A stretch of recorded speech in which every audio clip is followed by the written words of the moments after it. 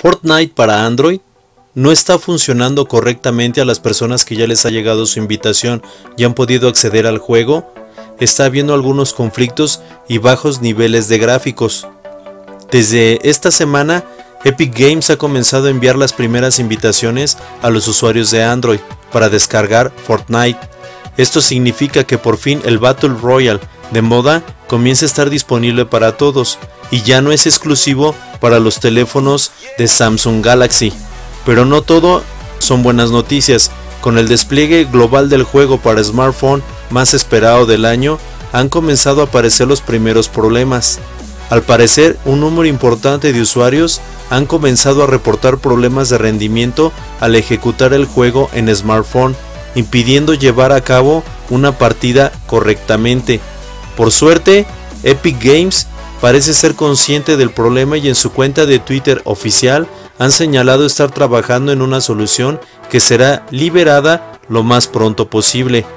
Tal y como apunta la compañía desarrolladora en su perfil de Twitter, los problemas estarían causando en smartphone con 4 GB de memoria RAM. La firma liderada por Tim Sweeney asegura que estos fallos se deben a la ejecución de múltiples aplicaciones en segundo plano, que no dejan espacio suficiente para la correcta ejecución de este grandioso juego. Si bien no se ha especificado cuándo estará lista la solución al problema antes mencionado, Epic Games anuncia que se está investigando y pronto se comenzará a trabajar en una solución. Debes de entender que Fortnite para Android es un juego que está en fase beta y es totalmente normal que estos fallos vayan apareciendo durante sus primeros días de funcionamiento.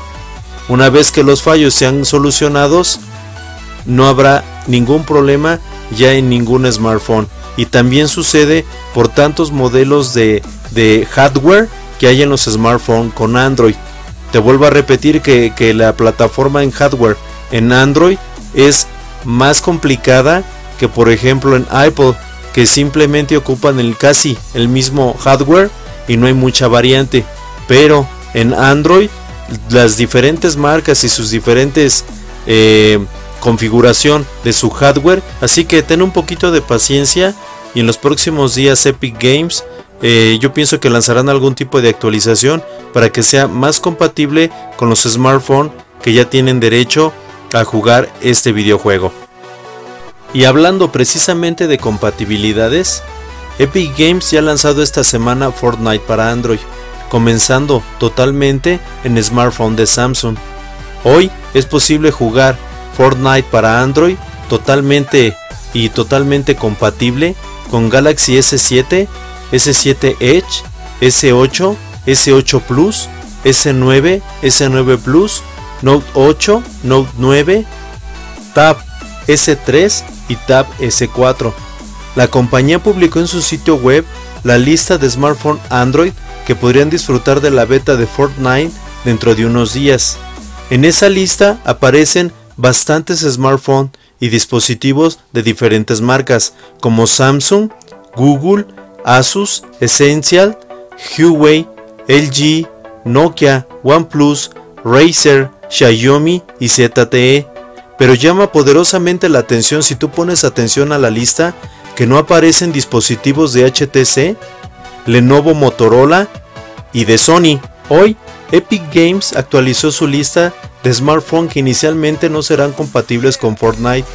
Y sí, desgraciadamente para los modelos de HTC 10, U Ultra, U11, U11 Plus y U12 Plus no es compatible Fortnite. Para Lenovo Motorola los Moto Z, los Z Droid, los Moto Z2 Force no son compatibles con Fortnite. Y en Sony Xperia, el XZ, XZS, XZ1 y XZ2. Asimismo, la compañía ha afirmado que está trabajando en poder dar una solución, así que no tengas ningún pendiente.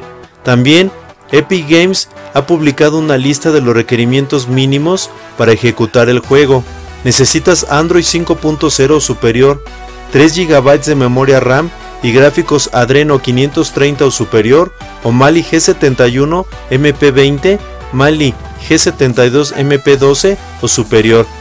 Si tu smartphone no está en la lista pero cumple con estos requerimientos, vas a poder disfrutar de este grandioso videojuego. Simplemente es cuestión de que tú tengas un poco de paciencia para que Epic Games están trabajando a marchas forzadas. Es lo que están haciendo para tratar de ser compatible con todos los smartphones y con todos los hardware disponibles en Android. Así que te vuelvo a repetir, si tu smartphone tiene los requerimientos mínimos, no te preocupes, tarde o temprano llegará el juego para que tú lo puedas disfrutar en tu smartphone.